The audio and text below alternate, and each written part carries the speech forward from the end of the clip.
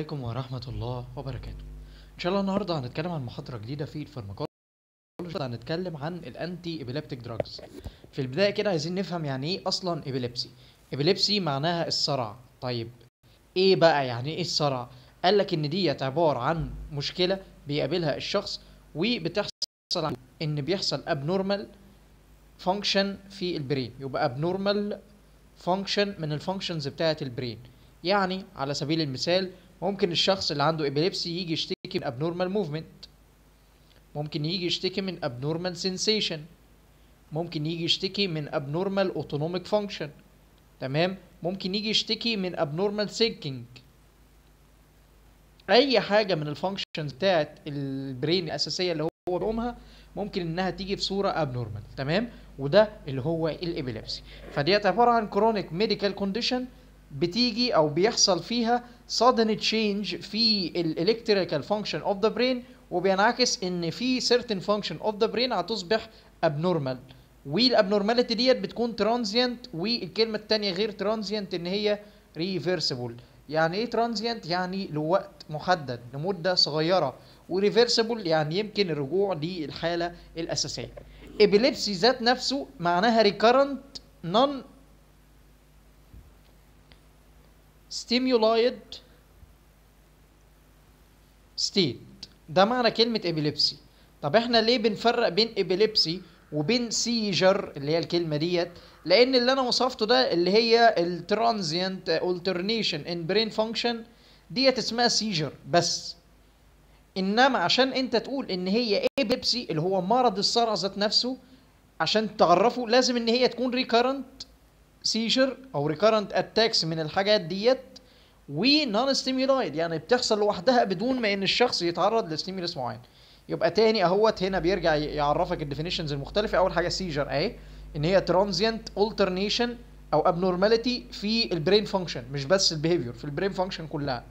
تمام؟ السبب بتاعها هو تغير في الكهربية بتاعة الدماغ تغير في الكهربية بتاعة الخلايا العصبية. في الغالب بتكون excitation يعني إيه؟ يعني الخلايا العصبية بتطلع إشارات كهربية زيادة عن اللزوم من أماكن معينة من المخ أو من المخ بالكامل. وهنرجع نقسم على حسب الجزئية دي.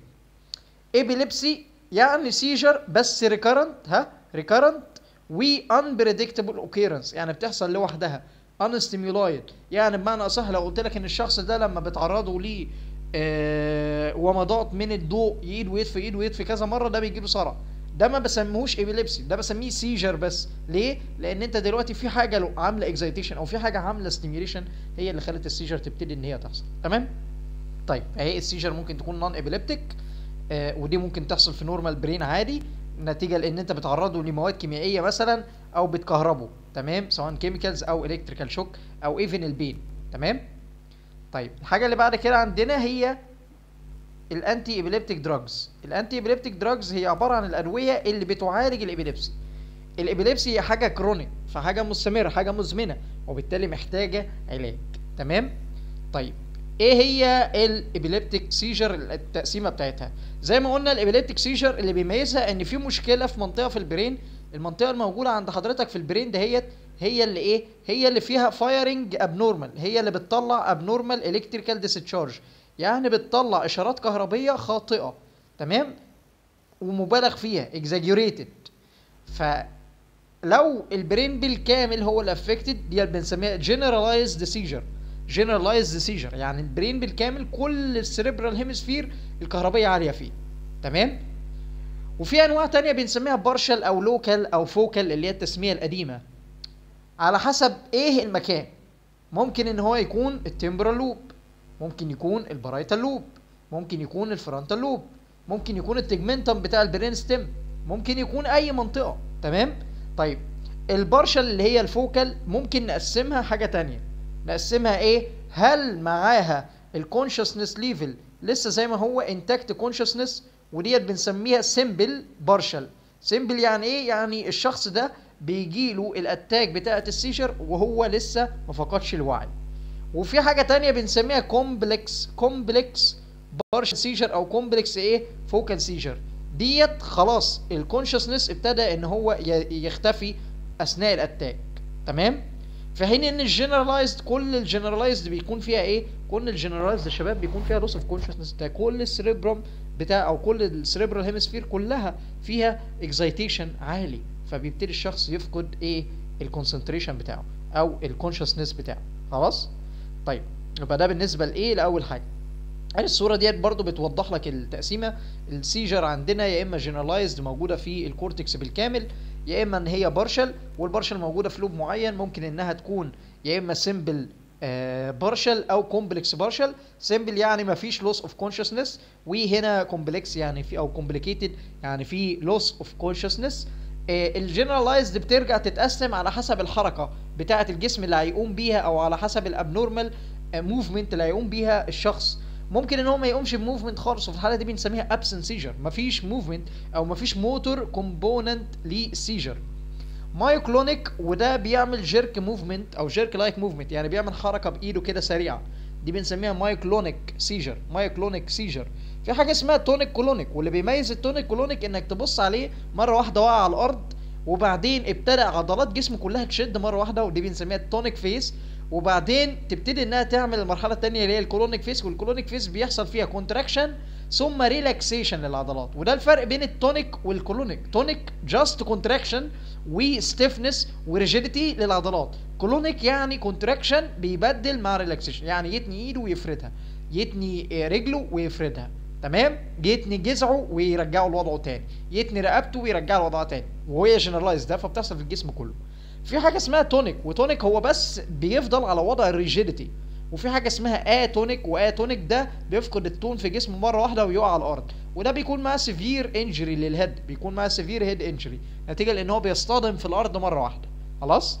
طيب يبقى لو جه سألك إيه إيه ال seizure اللي معهاش motor component ال absence seizure وال atonic لأن الاثنين دولت العضلات ما مش شغالة أصلا تمام؟ عضلات واقفة. إنما الباقيين معاهم motor component اللي هم ال myoclonic ال tonic وال clonic وال tonic بس تمام؟ أتمنى تكونوا فهمتوها وهي سهلة وبسيطة زي ما أنا شرحتها لكم كده. طيب نخش بقى على الأدوية ومن هنا هتبدأ إيه؟ الرخامة بتاعتي. يعني المحاضرة ديت محاضرة صعبة جدا جدا جدا لو أنت عايز تذاكرها كلها. بس في الآخر أنت كطبيب أسنان حتى أنا كواحد GP ماليش علاقة إن أنا أ manage ال case بتاعه ال seizure بالتفصيل الممل بتاع الادويه الموجوده عندنا. أنا في الآخر هقول لك كلمتين المحاضرة ديت لو جه سؤال منها هيجي في الكلمتين دولت مش هيجي في حاجة تانية. خلاص؟ فهم الكلمتين اللي في آخر المحاضرة هم المهمين. إنما معظم الأدوية بتاعه المحاضرة لا يعني أنا مش حافظ كل ده. في حاجات كتير قوي أو مبالغة المعلومات إن أنا أذاكرها. تمام؟ في أدوية ممكن إنها تعمل seizure وفي أمراض ممكن إنها تعمل seizure زي مثلا ال hepatic encephalopathy في الاشخاص اللي عندهم liver failure وبرضو ال uremia في الاشخاص اللي عندهم renal failure وبرضو ال DKA ال diabetic ketoacidosis في الأشخاص اللي عندهم diabetes ممكن إن هم يكونوا complicated ب seizure طبعا ال infection في ال brain زي ال meningitis ال encephalitis ممكن يجي presented ب seizure الأطفال الصغيرين لما بترتفع درجة حرارتهم ممكن يجوا بحاجة اسمها fe febrile convulsion أو febrile seizure وفي بعض الأدوية ممكن إنها تعمل seizure زي مثلا ال drug of abuse زي ال amphetamine ال cocaine اللي هي sympathomimetics كلها وال methylphenidate زي ال psychotropic drugs زي ال antidepressant وال antipsychotic drugs وال lithium من أشهر الأدوية اللي بتستخدم في علاج ال depression أصلا آه أو ال bipolar ال anesthetic وال analgesic بعضها ممكن إن هو يعمل آه seizure زي بالذات ال meperidine و tramadol. وال sedative hypnotics ممكن ان أو ال sedative hypnotics مش هي نفسها بتعمل لا. الأعراض بتاعت ال withdrawal بتاعتها اللي هو مرة واحدة تسحبها مرة واحدة. زي الشخص اللي هو كان معتاد على الكحول ومرة واحدة سحبته ال barbiturate وال benzodiazepine وديت بالنسبة للأدوية اللي بتعمل عندنا إيه؟ اللي بتعمل عندنا إيه seizure تمام؟ طيب الأدوية اللي بتعمل seizure إحنا اتفقنا في ال في الم... في ال pathogenesis بتاعت ال seizure إن الموضوع كله هو عبارة عن إن ال electrical discharge زيادة عن اللزوم صح؟ طيب ال electrical discharge بتاع الخلايا العصبية إيه المسؤول عنه؟ ببساطة لو جبنا ادي خليه عصبية طرف اللي هو ال presynaptic terminal وآدي ال postsynaptic terminal خليه عصبية ثانية ادي خليه عصبية أهيت وده ال synaptic terminal اللي هي ال synapse يا جماعة. إحنا عارفين الوصلات بين الخلايا العصبية عبارة عن synapse إيه اللي بيحصل بالظبط يؤدي لأن ال excitation بتاع الخلية العصبية يتم بصورة مبالغ فيها؟ بص على الصورة اللي أنا ارسمها لك كده. بص يا جميل معانا دلوقتي الإشارة الكهربية اللي هي ال action potential ابتدى إن هو يوصل لل nerve terminal بتاع الخلية العصبية الأولى. فيبتدي أول حاجة يعملها إن هو يفتح لك شوية potassium channel تمام؟ ال potassium channel لما بتتفتح بتبتدي إنها تدخل البوتاسيوم من خارج ال- النهاية العصبية لداخلها. عشان تعمل إيه؟ عشان تيجي فاتحة اللي وراها على طول اللي هي ال calcium channel تمام؟ وهي ديت المهم ال calcium channel لما بيتفتح بيبتدي إن هو يخش يخلي الخلية العصبية الأولانية تبتدي إنها تطلع أو تعمل exocytosis لل neurotransmitter اللي جواها. اللي هو في الغالب لو إحنا بنتكلم عن excitatory neurotransmitter فإحنا بنتكلم عن sorry لو بنتكلم على ال excitatory فإحنا بنتكلم عن ال glutamic acid أو ال glutamate ولو بنتكلم عن inhibitory neurotransmitter ما هو الكالسيوم لو هيطلع glutamate فهو بيروح يعني لو هيطلع glutamate فهو في نفس الوقت بيروح بي inhibit المادة المعاكسة لل glutamate اللي هي ال GABA ال gamma aminobutyric acid اللي هي من ال inhibitory فإحنا عشان إيه؟ عشان ما نلخبطش نفسنا هنخلي المادة اللي هي المحفزة أو ال excitatory هنخليها باللون الأحمر والمادة ال inhibitory هنخليها باللون إيه؟ باللون الأخضر. يبقى آدي ديت ال glutamate دي المادة اللي هتحفز. والمادة اللي هتوقف هنسميها GABA. خليها باللون الأخضر. تمام؟ طيب. ال glutamate لما هيطلع هيروح يعمل excitation للخلية ال- التانية اللي هي ال post synaptic طب هيعمل إزاي الموضوع ده؟ الموضوع بيتم عن طريق sodium channel هو ال glutamate هيروح يمسك في ال sodium channel يخليها تدخل صوديوم داخل الخلية. تمام؟ فالخلية ديت دلوقتي هتصبح إيه؟ هتصبح on يعني إيه on يعني هتبتدي إنها تطلع إشارة كهربية هي رخرة. ويحصل excitation فيها. تمام؟ ده اللي بيحصل في ال epilepsy. ال GABA بيقف عند كده. طب أنا دلوقتي عايز أعالج ال epilepsy. اعالجه إزاي؟ هعالج ال epilepsy إزاي؟ يا إما إنك تدي حاجة تمنع ال glutamate ذات نفسه يا إما إنك تدي حاجة تزود الأكشن على بتاع ال GABA اللي هو ال GABA ده شغال inhibitory تمام؟ يبقى هي هنا هنا ملهاش وصفه تاني يعني.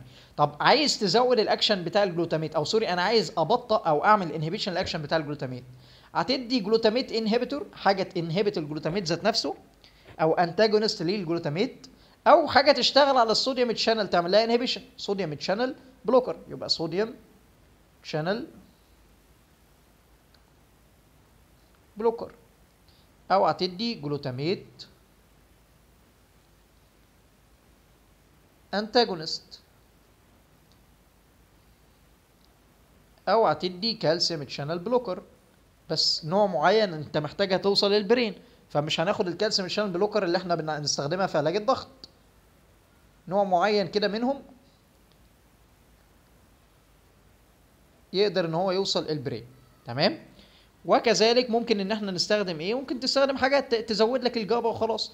لأن لو ال GABA على لو ال GABA على هيبتدي ان هو يعمل أو يعادل ال excitatory effect بتاع ال glutamate إيه الحاجات اللي شغالة على ال GABA أو إيه الحاجات اللي بتزود ال GABA عندك كذا حاجة. فإحنا من الآخر يعني الميكانيزمات بتاعت الأدوية ال antiepileptic drug يا اما إن هي شغالة على إنها بتزود ال GABA mediated inhibition ال GABA mediated synaptic inhibition أو إن هي شغالة إنها تقفل ال sodium channel أو إن هي شغالة إن هي تقفل ال calcium channel أو إن هي شغالة إنها تبوظ لك ال mechanism الرابعة إنها تقلل لك ال glutamate.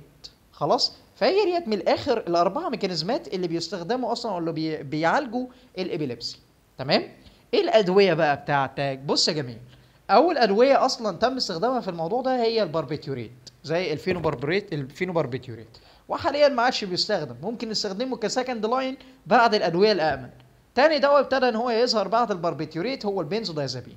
والاثنين دولت إحنا عارفين من المحاضرات بتاعتنا إن دولت شغالين على ال GABA receptor بيبتدوا إن هم يزودوا الإنتاج بتاع ال GABA البنزودازابين شغال على ال frequency والباربيتوريت شغال إن هو يزود لك ال GABA عشان كده الباربيتوريت كان بيحصل منه toxicity لأنه بيفضل شغال وما بيوقفش إنما البنزودازابين لا كان بيجي وقت معين كده ويقول لك إيه أنا آخر لحد كده. أنا آخر اللي أنا أعمل مثلا sedation ومش هدخل المريض في كوما. إنما الباربيتوريت لا مؤاخذة دي بتاعت الكوما يعني. لو اعطيتها لمدة طويلة هتودي هتخلي ال patient بتاعك ينام وما يصحاش.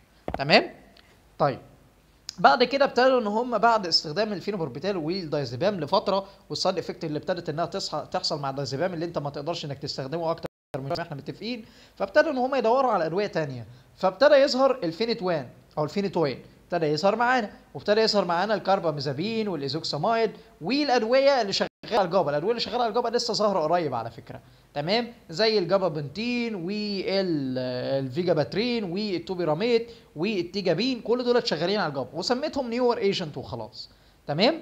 طيب في حاجة برضو اسمها اللاموتريجين وبرضو ده من newer agent يعني ال- ال- الأربعة اللي تحت دولت newer agent كلهم. تمام؟ طيب فدي الأدوية بتاعت حضرتك اللي ممكن إن إحنا بنستخدمها في ال epilepsy. تمام؟ طيب تعال نبص على ال... هنا الصورة برضو نفس الحكاية بيوري لك بقى كل ده وشغال على إيه؟ عشان إحنا نلخص ال... الكلام إحنا عندنا بتوع ال sodium channel blockers أهمت اللي هم إيه؟ اللي هم ست أدوية احفظهم كده زي ما هم قدام حضرتك. الكارباميزابين الفينيتوان ال topiramate واللامتروجين ال valproate وال zonisamide مش مهم ال zonisamide احفظ خمس أدوية وخلاص. تاني خمس أدوية الكارباميزابين الفينيتوان ال topiramate واللاموتريجين وال valproate. تاني الكارباميزابين الفينيتوين ال topiramate اللاموتريجين وال valproate خمس أدوية شغالين على ال sodium channel بيقفلوها. تمام؟ طيب ناخد الأدوية اللي شغالة على ال GABA إحنا عارفينهم اللي هم الباربيتيوريت والبنزودايزابين. عظيم الموضوع ده؟ تمام. اتفهموا اتحفظوا خلاص. ناخد واحد كمان شغال على الكالسيوم اللي هو ال ethosuximide بس أنا كده يهمني أنت خلاص كده. أنا بالنسبة لي أنت كده طالع فاهم المحاضرة. طالما عرفت ال mechanism of action بتاعت الأدوية دي. خمس أدوية شغالين على الصوديوم الكارباميزابين الفينيتوين ال topiramate واللاموتريجين وال valproate ودوايين شغالين على ال GABA اللي هم الباربيتيوريت والبنزودايزابين ودواء شغال على الكالسيوم اللي هو ال ethosuximide بقية الأدوية حطها إن هي شغالة على ال glutamate وخلاص. أيوه على ال glutamate. آه على ال glutamate وخلاص. عظيم كده. أنا مش عايز منك أكتر من كده. تمام؟ طيب. نبدأ في إيه؟ تاني أهو نفس الكلام. بيكرر لك إن ال pheno آه ال phenytoin وال carbamazepine وبقية الخمسة شغالين على الصوديوم. الباربيتيوريت شغال على الجابا البنزودازابين شغال على الجابا ده بيزود الفريكوانسي بس على فكرة ده بي إيه؟ ده بي prolong ال action بتاع ال GABA تمام؟ طيب. بقية الأدوية عندنا ال valproate برضو إيه؟ هتلاقيه شغال إحنا قلنا إن هو بتاع صوديوم صح؟ شغال على ال block الصوديوم. وال ethosuximide شغال على الكالسيوم. ال T type calcium channel تمام؟ طيب خد بالك بقى دي معلومة ليك انت كده على الماشي ال valproate استخدمه في أي نوع any type of seizure any type of seizure طالما هو شغال في أي نوع من ال seizure سواء كانت partial أو أو complex أو أو generalized فمعنى كده إن هو شغال بكل ال mechanismات. آه فهو شغال بكل ال mechanismات فعليا. بي block الكالسيوم بي block الصوديوم وكمان بي enhance ال GABA فال valproate بتاع كله وال mechanism بتاعته بتاعت كله. أي حاجة بقى فيها حرف ال B زي ال vigabatrin ال- ال tiagabine وال felbamate وبالمره كمان عندنا أو sorry أي حاجة فيها حرف ال B اللي هم أول اتنين دولت اللي هو ال vigabatrin وال tiagabine وال gabapentin ال gabapentin تمام؟ الثلاث أدوية دولت اللي هم فيهم B أو فيهم G و B تمام؟ GAB فيهم كلمة GAB بمعنى صح. تاني الفي الفيجاترين أو الفيجاباترين الفيجاباترين والتيجابين والجابا بونتين. دول مالهم؟ دول دول شغالين على ال GABA. بيزودوا إيه؟ بيزودوا ال GABA ذات نفسها. بس مش على ال receptor بتاعها لأ شغالين عن طريقه تانية. يعني شبه إيه؟ يعني شبيه قوي بال آه، ال diazepam وال phenobarbital ولكن مش شغالين على ال receptor لا دول شغالين على ال GABA ذات نفسه. يعني ال vigabatrin مثلا بي بي inhibit ال transaminase اللي هو بيكسر ال GABA. ال ال ال tiagabine شغال على ال reuptake. ال gabapentin ده أصلا هو مادة بتكون GABA في ال brain عندنا. فما يفرقنيش أنت اعرف إن هما في النهاية بيزودوا ال GABA نفسه. خلاص؟ طيب بعد كده ال felbamate وال lamotrigine الاثنين دول شغالين على الجاما. يعني إيه؟ أو شغالين على ال glutamic acid. فبيبتدوا إن هم يعلوا النسبة بتاعه ال glutamic acid. خلاص؟ بيعلوا ال glutamate أو ال glutamic acid. خلاص؟ اللي هما بي sorry بي بي inhibit ال glutamate لأن إحنا عارفين الجلوتاميت اكزايتاتوري فالفيلباميت واللاموتريجين بينهبت الجلوتاميت. خلاص؟ طيب. برضو الفيلباميت هو البديل للفالوبوريت. يعني الفالوبوريت أو الفالوبوريك أسيد البديل بتاعه هو ال felbamate. فلما نيجي نقول لك الميكانيزم اوف اكشن اوف فالبوريك اسيد أو الفالوبوريت والفيلباميت فهم الميكانيزم واحدة. يعني إيه؟ بينهبت الصوديوم بينهبت ال- الجلو- الجلوتاميت وبينهبت الكالسيوم. وحط لي كمان إن هو إيه؟ بيزود ال GABA براحتك. هم دولت شاملين ومعنى إن هو شامل أو antiepileptic شامل بيعالج كل الأنواع. معنى كده إن هو مغطي كل ال mechanismات. تمام؟ طيب. برضه نفس الكلام أهو ال gabapentin راجع لك تاني اللي أنا قلته أو جمعته مع الصورة اللي فاتت. والحاجة التانية اللي هي ال topiramate آه زيه زي ال felbamate بالظبط يعني مفيش فرق بينهم خلاص؟ طيب أهو التوبراميت والفيلباميت والفالوبريت الميكانيزمات بتاعتهم كلهم واحدة زي بعض شغالين على كله. خلاص؟ طيب ده بالنسبة لإيه؟ للجزئية دي. هنا الصورة دي مجمعة لكل اللي إحنا قلناه. اظن ان إحنا قلنا كل حاجة بالتفصيل عشان ما لخبطكمش أكتر. فانا يكفيني المعلومات اللي انت عرفتها أو التجميعات اللي انت عرفتها؟ طيب نبدأ بأول دواء معانا وهو الكربامازepine تاني يا جماعة كل المعلومات اللي أنا هقولها أنا مش مطالب منها غير الحاجة اللي أنا اعلم عليها. هقول لك آه دي ممكن تيجي سؤال. إنما الباقي لا ما تضيعش وقتك في إن أنت تقراهم يا ابني. تمام؟ عشان هتلخبطك وخلاص وهتطلع من المحاضرة ما انتش فاهم أي حاجة. فاللي يهمني المعلومات الأساسية وخلاص. ال carbamazepine ده كان من الخمسة اللي بي inhibit الصوديوم. بس خلاص مش عايز حاجة أكتر من كده. mechanism of action ال pharmacokinetic ما تهمنيش في أي حاجة. ال adverse effect برضه ما تهمنيش في أي حاجة. أصل ده طبيعي إن ده دواء بيقلل بيقلل ال electrical function بتاعة ال brain فطبيعي إن أنت هتقول لي إن كل حاجة ال brain كان بيعملها هتبقى قليلة. تمام؟ هو بيقلل ال electricity يعني الشخص ده هتلاقيه ماله لما ياخد الدواء؟ هتلاقيه عايز ينام. هتلاقيه مش قادر إن هو يتحرك. هتلاقيه مش حاسس هتلاقي إن هو مش شايف كويس هتلاقي إن ال ال الهرمونات بتاعته ابتدت إن هي تقل. تمام؟ وال liver هو اللي بيكسر معظم الأدوية دي. فال liver هتلاقي إن هو انضر هو رخر بالأدوية اللي حضرتك بتديها بالذات ال chronic use بتاعها.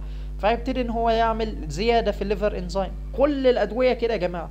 والأدوية اللي إحنا بنستخدمها في ال antiepileptic drugs كلها ممنوع إنك تديها في شخص جاله قبل كده Stevens-Johnson syndrome أو عنده حساسية من الدواء. أو عنده مشكلة في ال bone marrow. ليه؟ لأن الدواء ده بيعمل حساسية. تمام؟ فطالما الدواء بيعمل حساسية ما تديهوش يا سيدي. كل الأدوية بتاعتنا هتلاقي إن هي contraindicated في الحالات دي. تمام؟ طيب. وفي drug drug interaction لأن كل الأدوية بتاعت بتاعت المحاضرة النهارده كلها شغالة على inducer inducers على ال liver يعني إيه inducer يعني cytochrome inducer يعني بتزود ال metabolism بتاعت أدوية تانية. يعني ببساطة لو ست حامل بتاخ... لو ست عاي... مش عايزة تحمل وبتاخد oral contraceptive pills وهي عندها صرع وماشية على carbamazepine حبوب منع الحمل اللي هي بتاخدها ولا ليها أي 60 لازمة. ليه؟ هتتكسر. هتتكسر مش هتشتغل.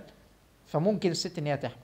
خد بالك بس إن المعلومة الثانية اللي أنا عايز اكد عليها برضو في ال carbamazepine هي إن هي بتستخدم في علاج ال trigeminal neuralgia أو التهاب العصب الخامس. خلاص؟ طيب. وكذلك يستخدم في علاج ال mania بس هم دولت المعلومتين اللي أنا عايزك تعرفهم عن ال carbamazepine carbamazepine ده عبارة عن sodium channel blocker وكمان شغال إيه؟ أو بيستخدم في علاج ال trigeminal neuralgia بس مش عايز أكتر من كده. خش بعد كده على ال diazepam. وال diazepam بنستخدمه في الحالات بتاعة ال acute اللي هو في صورة IV مش اقراص ممكن إحنا نستخدمه بشكل اقراص لو أنت بتعالج chronic بس يفضل ما تستخدموش. وعارفين ليه؟ بسبب الايه ال dependence اللي بتحصل عليه. ده شغال على ال GABA زي ما أنت عارف إن هو ال GABA receptor antagonist دي معلومة أنت عارفها. ال adverse effect زي اللي فات مفيش أي مشكلة. بس هنزود معاها بس إيه؟ ال withdrawal وال tolerance أو ال dependence تمام؟ contraindication ممنوع إنك تديه مع أي مادة تانية بتثبط ال brain ليه؟ لأن ممكن إنها تخلي الشخص يخش في كوما. إيه الحاجة اللي بعد كده عندنا هي إيه؟ drug drug interaction زي ما انت فاهم الأدوية ديت بتتأثر أو بيحصل لها metabolism في ال liver فأي حاجة inducer هتبتدي إنها تقلل من التركيز بتاعها في الدم أي حاجة inhibitor هتبتدي إن هي تزود من التركيز بتاعها في الدم وما يهمنيش إنك تعرف أي حاجة. خلاص؟ طيب بعد كده ال ethosuximide يهمنا إنك تعرف على ال ethosuximide إن هو إيه؟ زي بقية إخواته يا عم أيوه شغال على إيه؟ شغال على ال calcium channel وشغال على ال sodium channel برضه. تمام؟ طيب adverse effect ما يهمنيش contraindication ما يهمنيش. انت هتقدر انك تجيبهم اللي هو Stevens Johnson وأي حاجة في ال bone marrow أو أي حساسية. سواء حساسية في الجلد اللي هي Stevens Johnson syndrome اللي هي اسم toxic epidermolysis أو epidermolysis necrosis يعني الجلد بتاعه بيتاكل لما بتديله الدواء. والحاجة الثانية أي حاجة في ال bone marrow bone marrow aplasia dyscrasias pancytopenia eosinophilia أي حاجة في ال bone marrow حرفيا. أي مشكلة في ال bone marrow. اللي يهمنا على الدواء ده المعلومة الثانية اللي أنا عايزك تعرفها إن الدواء ده بيستخدم في علاج ال absence seizure فقط. absence seizure فقط عشان نحفظها ونعرفها كويس. اللي بادئ بحرف ال E مفيش غير هو واحد ال ethosuximide بيستخدم في علاج اللي بدا بحرف ال A اللي هي ال absence seizure. خد بالك وجدوا إن هم لو استخدموا ال ethosuximide في علاج ال آه الماي ال tonic clonic seizure هيبتدي إن هو يعمل abnormality هيبتدي إن هو يحولها بقى ل severe form تمام؟ فممنوع إنك تستخدمه في علاج ال tonic clonic ال ethosuximide ما بيستخدمش في علاج غير ال absence seizure بس. ما تفكرش في استخدامه في حاجة تانية. خلاص؟ طيب. بعد كده ال gabapentin. عارفين mechanism of action طبعا بالتفصيل. طبعا mechanism of action الدكتورة كاتباه في ال PowerPoint بتاعها. فهي بتقول لك بقى اللي هي شغالة على ال sub receptor اللي هي بتقول لك إن ده بيمسك في ال synaptic alpha 2 gamma subunit بتاعة ال calcium channel to modulate ال calcium current عشان يطلع. ال GABA. ما يهمنيش كل ده هي شغالة على ال GABA يا عم. هي بتزود ال GABA ده اسمه gabapentin. اسمه gabapentin. هيكون شغال على إيه؟ شغال على ال GABA بيزوده. بس مش شغال على ال GABA receptor هو شغال على ال GABA نفسه. طيب يهمني أي حاجة تانية؟ ولا يهمني أي حاجة تانية. بس بس عايز معلومة ليك. أي حاجة بتشتغل على ال GABA اعرف حضرتك إن ممنوع استخدامها في ال angioedema. ممنوع استخدامها في ال angioedema. angioedema يعني إيه؟ يعني في edema موجودة في ال ال smooth airway أو في ال airway mucosa ممنوع إنك تستخدمها في الحالات دي. سواء angioedema أو anaphylaxis اللي هي الحاجات بتاعت التهاب أو آه، edema موجودة في ال larynx مثلا. تمام؟ ممنوع استخدامها في الحاجات دي. أي حاجة فيها GABA. ليه؟ لأنها بتزود ال condition خلاص؟ طيب. drug drug interaction ما تهمنيش قوي برضو. اللي يهمني بس إنك تعرفه ان ممنوع إنك تستخدم معاها إيه؟ ممنوع إنك تستخدم معاها مورفين تمام؟ طيب. سواء المورفين أو مشتقاته. المورفين بس معلومة برضو عشان المورفين بينه وبين ال hydrocodone. المفروض ال hydrocodone ده مشتق من ال opioid يعني هنعرف إن شاء الله في المحاضرة بتاعة ال opioid.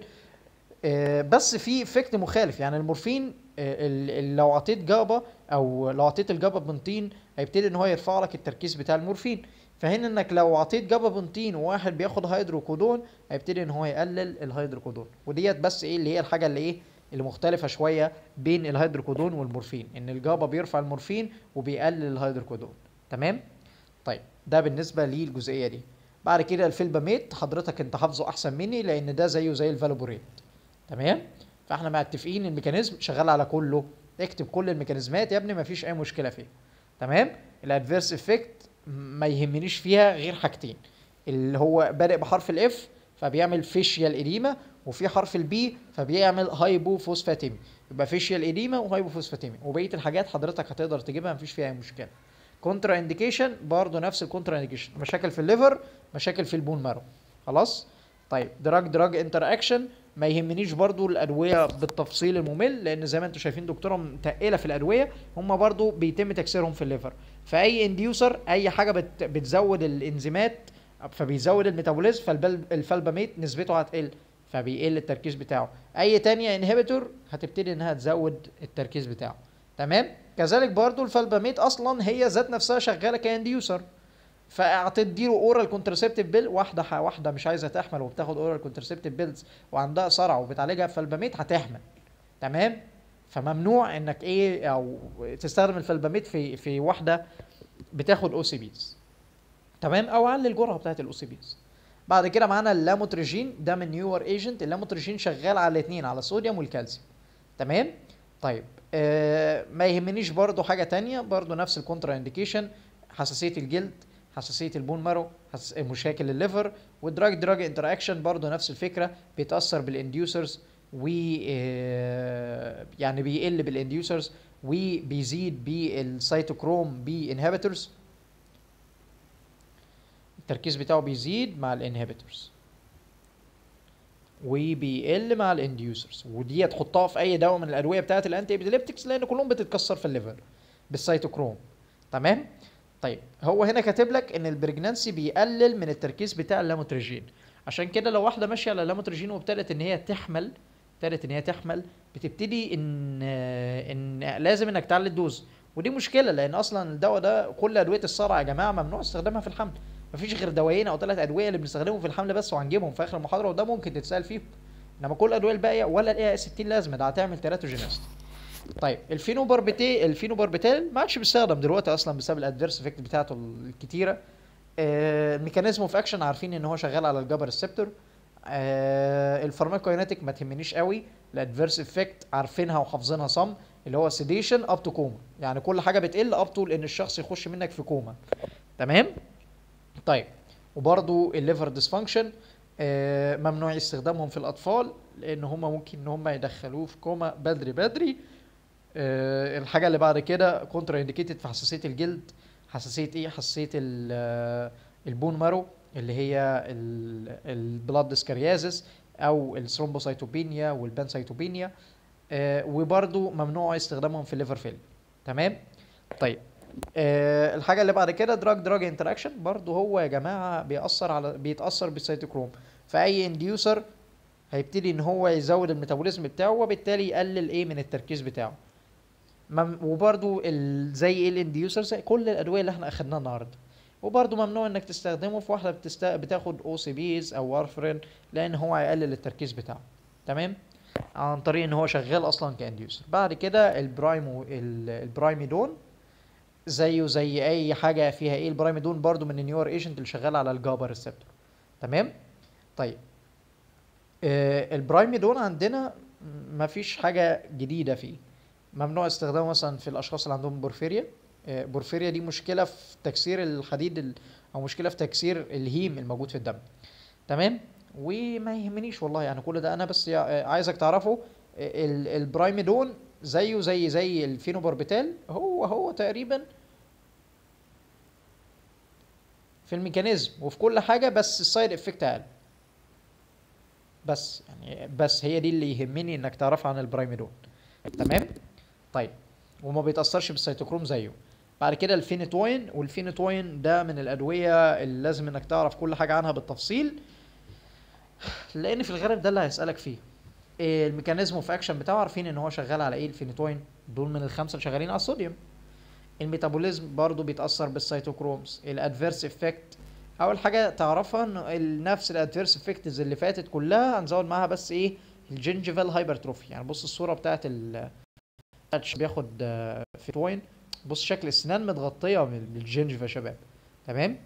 طيب آه، الحاجة اللي بعد كده برضو إن آه، لو ست حامل اخدته الطفل بتاعها هيجيله congenital abnormality بنسميها fetal hydantoin syndrome تمام؟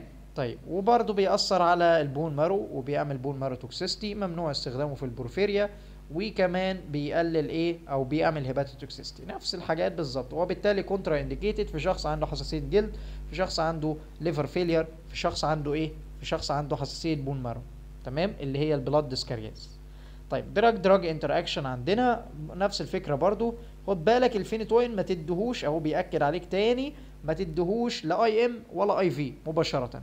تاني ما تدهوش IM أو IV مباشرة. ليه؟ لأن هو بيعمل thrombophlebitis أنا مش عارف الدكتورة ليه ما كتبتهاش بصراحة في ال adverse effect الدواء ده لو حقنته في ال vein على طول المريض هيرزعك بالقلم ليه؟ لأن الدواء ده very irritant very irritant لل vein.